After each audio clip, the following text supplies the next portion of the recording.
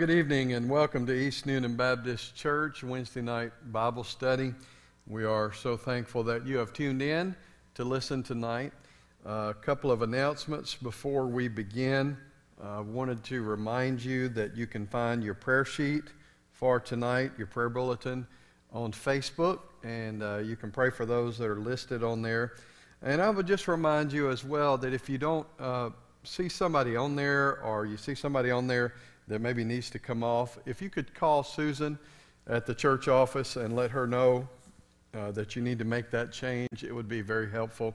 Sometimes we have people on the list and we're not sure to take them off, and so uh, thank you for those that have called in. But if you see something you'd like to update, please let us know. Also, I do have a bit of good news, and I'll make an official announcement tomorrow. Uh, but we are coming back to in person Sunday in person Sunday. Uh, that means that worship will be in person, and then we're going to give Sunday school classes the opportunity to be in person as well. Uh, if your class uh, would get together and talk about it, your leadership, if you want to come back, you can, um, and you can also do the Zoom classes that you've been doing as well. Um, so those are that's a that's an option that's available to you. There will be some things that will be in place that are different from the time before when we were here. Uh, number one, uh, temperature checks will take place at the door. Uh, so if you have a fever above 100 degrees, uh, you, will, you will not be allowed to come into the building. Uh, so, uh, so we'll be checking those at the door. also, there'll be mask required in the buildings, in the building at all times, unless you are up on this platform for worship, or if you're teaching a Sunday school class, you may take your mask off. So we're going to, for the next you know few weeks anyway, require the mask until the numbers get a little bit more under control. Uh, also, the uh, third thing I would just remind you of is we had gotten toward the end of our meeting together in November a little less diligent about remaining socially distant from one another. And so I would ask you for, to have your family sit with you uh, six feet away from other families. And so we'll have the pews taped off at this point, and uh, we'll try to be creative how we get folks in here.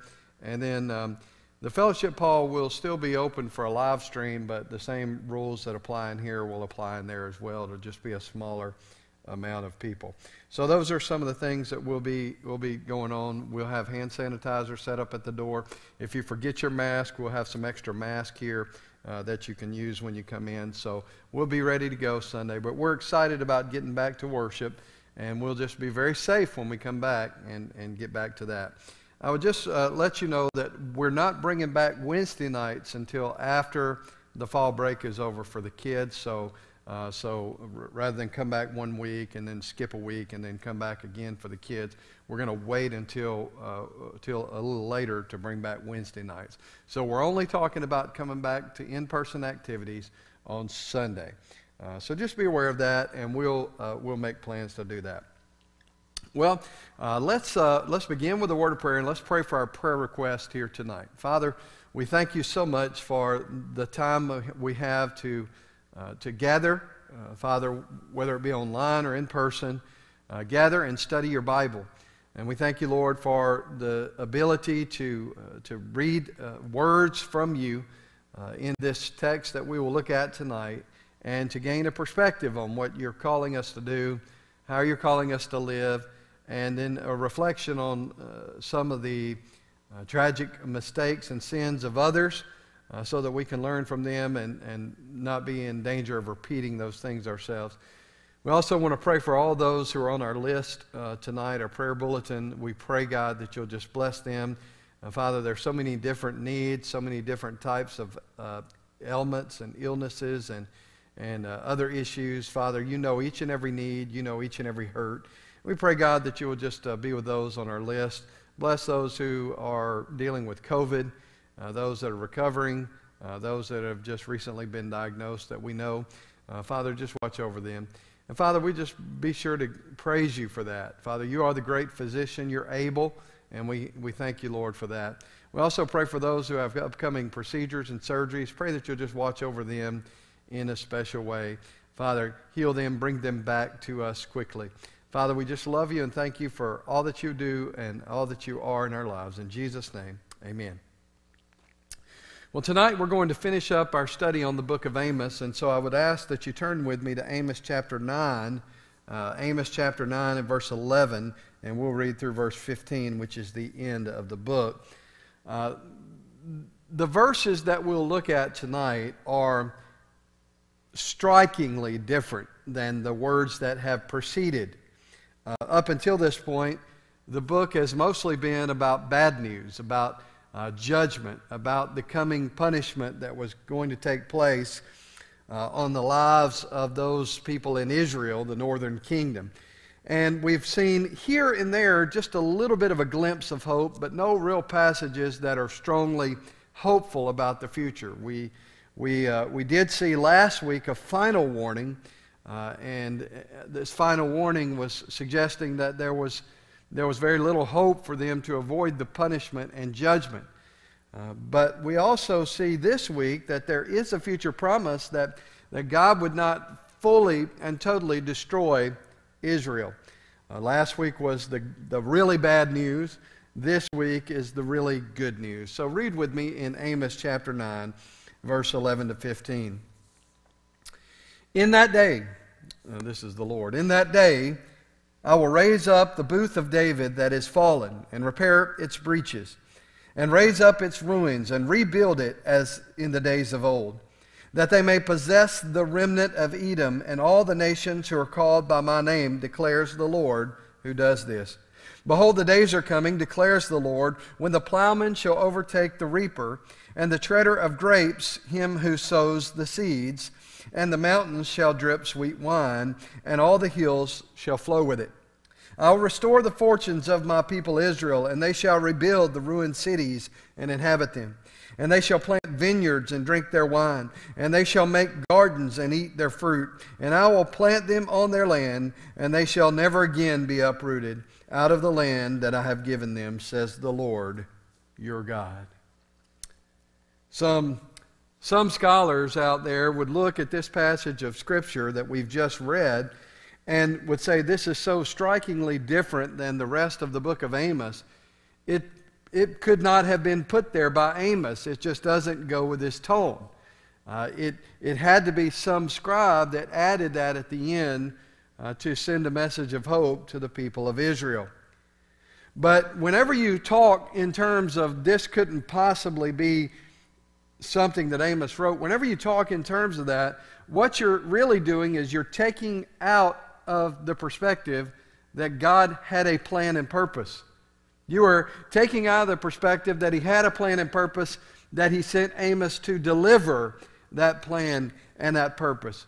And you're completely and utterly avoiding the idea that God is sovereign and that He is sending Amos for the primary purpose of delivering judgment upon the nation of Israel, but he's also sending Amos to remind them at the very end of his judgment that God would not truly and fully abandon his people, that he had a plan and a purpose that far exceeded their disobedience. And so, certainly, Amos wrote this. Certainly, this was part of Amos's message. And when we begin to say that, you know, something, you know, can't be both bad news and good news, we miss out on what the gospel is all about. Because the gospel really starts with bad news. I'm a sinner. I'm a worthless sinner who can do nothing to save myself. You can't share the good news until you know the bad news and you've heard the bad news and you understand the bad news. Uh, but you have to hear the bad news to understand the hope and the hopefulness that is coming through in passages like our passage tonight. And so, also, many would look at that and see, you know, after the exile, Israel was restored to some degree. But it's interesting to note that Israel was not restored to the same place they were before the, uh, the, the, split of the kingdom and then ultimately the exile. They were, they were nowhere near the, the greatness that they were under, under the reign of Solomon and the reign of David. And so, even when they were restored, it wasn't the picture of what we see here in this text. It, it's, a, it's a small glimpse of it, but the picture of what we see in this text is heaven. The picture of what we see in this text is, is eternal glory. Uh, we see uh, that someone will sit on the throne of David forever, and we see these things, and we understand that it's pointing ahead to something that hasn't happened yet.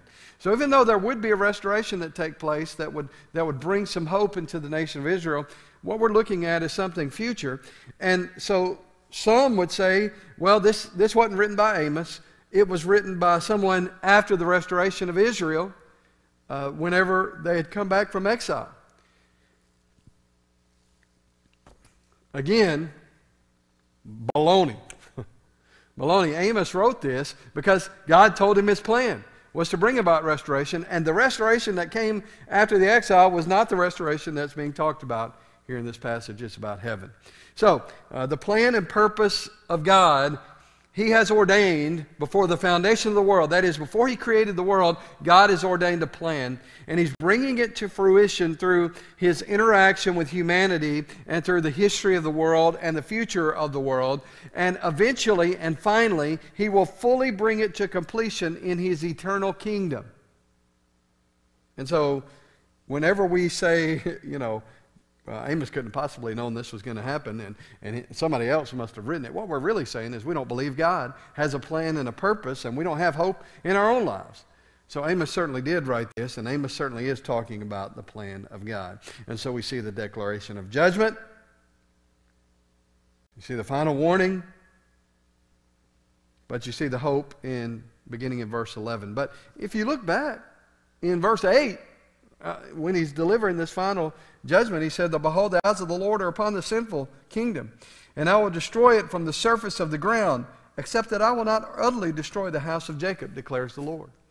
So even in chapter 8, I mean, chapter 9, in verse 8, in the midst of his declaration of judgment, we see a glimpse of hope. And then, beginning in verse 11, we see full hope laid out for the future. And so, prepare to meet your God. Prepare to meet your God. We have heard him say that earlier. But we also understand that God has always planned to restore Israel. In our text, Amos uses the first person to show God is the one speaking here. And in that, God makes three promises about the restoration of Israel. First, he makes a promise of restoration. Uh, verses 11 and 12 in that day I will raise up the booth of David that is fallen, and repair its breaches, and raise up its ruins, and rebuild it as in the days of old, that they may possess the remnant of Edom and all the nations who are called by my name, declares the Lord who does this. The Lord had given a vivid account of destruction that would take place on the nation of Israel, but in verses 11 and 12, it's the restoration of the temple. Uh, of the tent, I'm sorry, the tent of David, the tabernacle of David. The tent or the booth of David has fallen. What's the Lord referring to here? Well, the tent represents David's royal line. David's royal line. And we know the promise that God had made that David would have a son that sat on the throne forever and ever. But David's heirs didn't have that much success uh, in the kingdom. And so uh, we look forward to a future son of David that would sit on the throne and so he's talking about that time where he would restore the Davidic kingdom and the Davidic king. Uh, and so the idea here is of a battle that has torn down the temp- tent, and then uh, the nation had been routed and destroyed, and the tent, who represented the, the, the ruler, David, would be fallen. And the idea of a tent representing a ruler, this is a weak version of a dwelling as opposed to the royal palaces and particularly the splendid palace that, that Solomon built. And God had promised that David would have a son that ruled, and so he's using this tent to show the weakness of David, David's children, David's reign, uh, and that it had fallen, but that God would raise it up again and do something better after Solomon's death, the kingdom was ripped in two. That's how the kingdom split after Solomon's death. And, you know, the Lord would restore it. The Lord would, pick it up. It would, he would uh, take the wall and repair it and re- repair the breaches in the wall and in the tent. And, uh, you know, those had, that had rebelled against God, against the authority of God, we would not see that rebellion when God does his restoring. And so he would restore the Davidic line. He would seal up the cracks and holes in the Davidic kingdom and the people. And then he would build it like it was before. And the king this time would sit on the throne not for a limited amount of time, but forever. The apostles were clear that Jesus is the fulfillment of this prophecy. He's the King of kings and the Lord of lords. He's the lion of the tribe of Judah. You know, Jesus came to do a lot of things, and we talked a, a little bit about it in previous sermon series, but uh, Jesus was the high priest. He's the king, the, high, uh, the, the mighty king, the high priest, and he's the greatest prophet. And so, you know, for him to be the king, he had to be born in the line and lineage of David. And so he's the line of the tribe of Judah. But we also note that he's, the, he's a priest. But to be a priest in the order of Levi, he had to be born of Levi. But you remember that Jesus is a priest in the, in the line of Melchizedek, who was a priest in the book of Genesis. So these roles that Jesus fulfills are important, but the one that, that, uh, that Amos is referring to here, the Lord is referring to through Amos, is uh, the King of Kings and Lord of Lords that would sit on the throne of Dave, David forever. Uh, the apostles uh, talked about this, they prophesied about this, and they spoke about this, they taught about this. And the kingdom of Israel would not only include the former kingdom, but it would also include people from all the nations of the earth, pagan nations that have been destroyed and judged as well. So when God raises up the future kingdom, it's not just going to include the kingdom of Israel, it's going to include people from every kingdom of the earth, every tribe and every tongue. While it's true that the nation of Israel had been elected, chosen, and called out by God for a specific purpose, and God called them out to be a special possession, to be a kingdom of priests and a holy nation, that is, a nation that's been set apart for the purposes of God. The kingdom of priests were to be a witness to others about the glory of God, and they were to proclaim the way of salvation that, the, that God had given. But they failed miserably. God had distinguished them and set them apart out of all the other nations, and He called them out to be clean and holy and righteous. And the separate nature of their actions and their life was to proclaim a holiness and point to the holiness of God. And so they were set apart to show the set apart one. They were set apart to point to the one who is holy. And they were set, uh, uh, set apart to show God. Interestingly, the judgments of the other nations, beginning in the first part of the book, and then the judgment of Israel, Israel served to show that Israel, while they were chosen by God and distinct in some ways, they were like other nations in some ways. But the Lord would not forget his promise that he made to them, that he would restore them, and he would be faithful to them, and he would uh, keep a holy remnant faithful to him.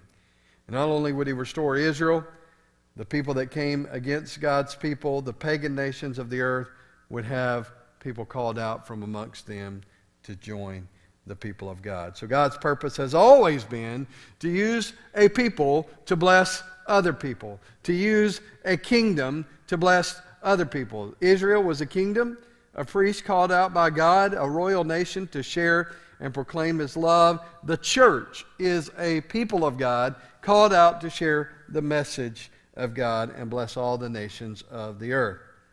Here's the question Did the nation of Israel ultimately fail in her purpose to be a blessing to all the nations of the earth? And the answer to that is an unequivocal no, they did not fail in that. Now you may say, well, Everything we read in the Old Testament shows that they did fail. And, and in that way, if you look at it in the Old Testament history, you see they did fail miserably. But, but we find out in the New Testament that Jesus is the true Israel, the true Son of God. And he would be the one that would obey God, live a perfect and sinless life, and become the sacrifice for all the nations of the earth to bless all the nations of the earth. So eventually, through the person of Jesus Christ, Israel did, in fact, bless all the nations of the earth and did, in fact, fulfill that which God had called them to do because Jesus Christ is the perfect fulfillment of the Old Testament covenants. Jesus said, I didn't come to abolish the law, I came to fulfill it. And through his work and ministry, life, death, burial, and resurrection, he did accomplish just that. Jesus is the child of promise. Jesus, when we look at Abraham and we look at his son Isaac, and we say Isaac is the child of promise, well, ultimately, the child of promise is the one that will carry on his line until Jesus comes, who is the true child of promise. He's the blessing, and he is our brother. The nation of Israel would not be judged, uh, would be judged, but God would lift them up and restore them. It was a promise. So, a promise of, of restoration. Secondly, a promise of blessing. A promise of blessing. Verse 13 and 14 Behold, the days are coming, declares the Lord, when the plowman shall overtake the reaper, when the treader of the grapes uh, him who sows the seed. The mountains shall drip with sweet wine, and all the hills shall flow with it. I will restore the fortunes of my people Israel, and they shall rebuild the ruined cities and inhabit them. And they shall plant vineyards and drink their wine, and they shall make gardens and eat their fruit. Uh, Amos not only foresaw the judgment that would come on Israel, he foresaw the day in which they would be restored by the Lord, and he would give them great blessing. Moses prophesied about this particular thing as well. If you have your Bibles, uh, they are with you, turn over to Deuteronomy chapter 30, and let's look at verse 1 to 3.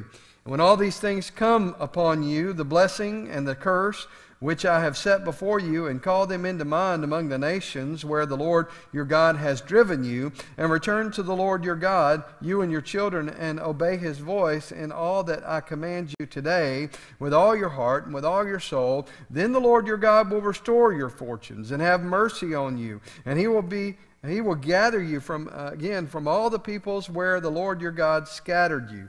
And then on down in verse 5, he says, And the Lord your God will bring you into the land that your fathers possessed, that you may possess it, and he will make you more prosperous and numerous than your fathers. And then down in verse 9, he says, And the Lord your God will make you abundantly prosperous in all the work of your hand, the fruit of your womb, and in the fruit of your cattle, and the fruit of the ground. For the Lord will again take delight in prospering you, as he took delight in your fathers. And so, uh, Moses pointed ahead to this time where, where this promise of great blessing. So there's a promise of restoration, but it's not just restoration, it is the lavishing of God's blessing upon them. Their crops would do well, their wombs would give birth, they would have great and wonderful blessings from God because God made a promise to them. And here's the simple truth God always keeps his promises. In verses 13 to 14, we see two ways in which the Lord would keep his promises that are laid out in the book of Amos. First, he would make the land fertile. The plowman would overtake the reaper. This means that the harvest is so great that they were able to continue picking fruit and, and uh, produce and crops off the vine until it was ready to plant again. So that's what that means. The, the, the reaper the plowman would overtake the reaper. So plowman comes up and gets ready to replow, and they're still taking stuff off the vine. This means that the harvest was so great that God was blessing them. Usually there's about a six month period between the reaping and the plowing. This, there would be no time in between that. How would you like to have a garden all year round that was putting out something? That would be awesome. Uh, then they'd have plenty to eat and plenty of resources to support themselves and this was a blessing of God. Second, he, he offered them a general blessing of comfort, that they would receive a general blessing of comfort. They would ha- have their uh, homes and cities rebuilt and inhabited. They would replant their fields and vineyards. They replant their gardens and enjoy fruit. God was going to reverse the judgment on the nation. The Lord was promising a day when once again they would enjoy the satisfaction of their labor, and all of it would be the Lord's doing. So the promise of blessing, the promise of restoration. Number three, the promise of security in verse 15. Let me read verse 15 to you as we turn back to Amos. And I will plant them on their land, and they shall never again be uprooted out of the land that I have given them, says the Lord your God. And so, what we see here is a promise of security. God will give them their land, uh, the land that He had promised them, the land that He told them would be flowing with milk and honey, and they would dwell in that land and possess it forever. They would never again be rooted out of the land. As we look at this, we, we think back to Sunday's sermon on the eternal security of the believer. A blessed assurance was the title of that sermon. We must understand the significance of the promised land in the Old Testament. It was a place, a real physical place uh, in the land of Canaan, a land flowing with milk and honey. But it also represents a future place, a real literal place, a place where, where there will be no sin, a place where there'll be no suffering, a place of heaven. So the promised land to the people of Israel is also the promised land that we look forward to in a place of bliss and eternal security. And so this is symbolic of the blessing that God had promised all throughout the Old Testament uh, and into the New, that, that we would have a place to dwell. In my Father's house are many mansions, Jesus said. And so we look forward to having a place to dwell forever and ever in a covenant with God. And it represents the fact that God's people have a special relationship with Him because it was not their doing that they entered into the promised land in the first place. They lived in homes they did not build, they possessed cities they did not build, they, they reaped from vineyards that they did not plant. And so, you know, it was God's doing entirely from beginning to end. And so there is the element at which we just simply lean on God. It is His place. He is allowing us to live there. We are His children and we trust in Him and we're secure in that covenant that He's made. And we look forward to that time when we're in heaven with Him and we'll be totally dependent upon Him for everything in our lives as we are now. So, what is the Lord's promise? Well, the Lord's promise is that He will permanently plant His people in the promised land after raising the booth of David and repairing it. That is, there is a coming Messiah. It is through this Messiah, our Lord and Savior Jesus Christ, that we are included in the kingdom of God. It is through Jesus Christ that we have peace and security and blessing. And greater still, it's through Jesus Christ that we have eternal life. And so it's fitting that the book ends with a phrase that will leave an, a lasting impression on those who would hear the judgment of God and gives us context for the entire judgment. Judgment, judgment, judgment, judgment. And then the book ends with this great promise of blessing. And then it says, Says the Lord your God. So even though they had rebelled against him, even though they had failed him, even though the nation of Israel has not been who God had called them to be, they still belong to God, and he would never fully leave his people or completely reject them, only punish them for a while. How about a key called promise? This is an illustration, a story from Bunyan's, John Bunyan's great allegory, The Pilgrim's Progress. The incident is related in this book about how Christian, the main character, decides to leave the main highway and follow another path, which seemed easier. But this path leads him into the territory of Giant Despair, who owns Doubting Castle. So Giant Despair, in his Doubting Castle, eventually captures Christian and keeps him in a dungeon. And in the dungeon, Christian is advised to kill himself because his despair is so great. The giant said that there was no use in him keeping on with his journey. His journey has come to an end in the doubting castle at the hands of great despair in his deep, dark dungeon. For the time, it seemed as if despair had really conquered Christian. But then hope, Christian's companion, reminds him of previous victories that he had had. And so it came about on Saturday, about midnight, they began to pray and continued to pray, pray until almost morning. Now, a little before it was day, good Christian broke out in a passionate speech. He says, What a fool am I thus to lie in a stinking dungeon when I may as well be at liberty. I have a key in my bosom called promise that will, I'm persuaded, open any lock in doubting castle. Then said Hopeful, That's good news, good brother. Pluck it from thy bosom and try. And when he did, the prison gates threw open. This is a story that is an allegory of what happens in our despair. We may get to the end of our rope. We may think there's no other way to turn. But Jesus has provided a way of salvation, and if we just access that way of salvation through the key of faith, then we can be saved by faith alone, in, in Jesus Christ alone, through grace alone. And that is how we're saved. And so, really, this Old Testament book ends with a very Jesus y passage of Scripture, pointing ahead to the Savior. How do we live? Do we stand on the promises of God? Do we understand that even though the world may not be going like we want it to, that God's still in control? Even though the world may not uh, be uh, functioning according to the set parameters that somehow in our minds we think it should function, do we somehow get in this pit of despair? Do we somehow get hopeless? Uh, my friend, we need hope because Jesus is the answer. Everything we hope in, everything we look for, everything we trust in is based not on the things of this world, but on the promises of God. My friend, we can stand on the promises of God. God always keeps his promises.